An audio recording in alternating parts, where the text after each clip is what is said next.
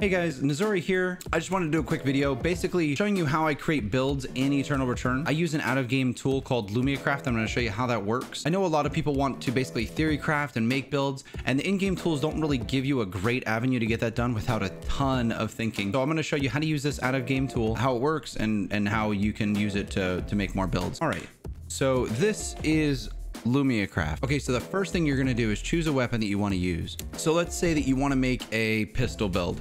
So you're gonna select pistol. It's gonna show you the different weapons. Now, if you click any of these options, it's gonna show you each one of the the various things that can go in that slot. Um, for this one, we're going to go ahead and choose the Elegance pistol. This is going to show you what routes you can use to make the Elegance pistol. Now, what I like to do is choose two items that I really want to synergize for this build.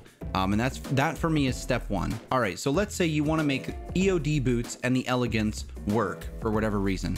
So it's going to show you the different routes that you can use to build both the Elegance and EOD boots. So we're going to choose one of these routes with the pistol on second area. And what we're going to do is we're actually going to click through and use this all route items tab to take a look at what else we can build on the route. Now there's a feature that was just added to the site and it is incredibly useful for crafting builds. So if we run through, we're gonna see that on these different routes, we can make all these different items. So essentially you can jump to one of these and say, okay, let's go from pond, hospital, archery to forest. And we're gonna add on a handbok uh, let's let's go ahead and add on a drop near. For accessory, we're gonna pop on this laced quiver. And for the head, the only thing we can use is a beret. So maybe we should have chose a better one. We could make a better helmet. But essentially, that's the idea behind this. So within a minute here, we just literally took six items that can work in four areas. Uh, it's this tool is incredibly useful for making builds. Now, the great part about this is it even shows you what items you're going to have in each spot.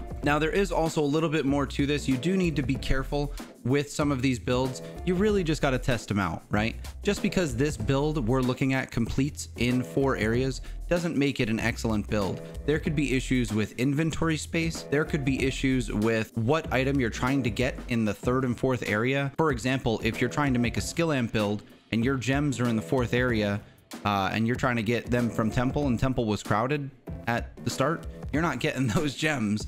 So this website is amazing at crafting routes for you, but you still got to use your brain and figure out whether it's going to work for you. Uh, but nonetheless, excellent, excellent tool. Highly recommend it. But guys, that's pretty much it for the video. I just wanted to make a quick video on, on exactly how to use this tool because I love using this tool. I use it on stream almost every night. Uh, guys, if you do want to catch the stream, I stream almost every night on Twitch at twitch.tv slash Nazori.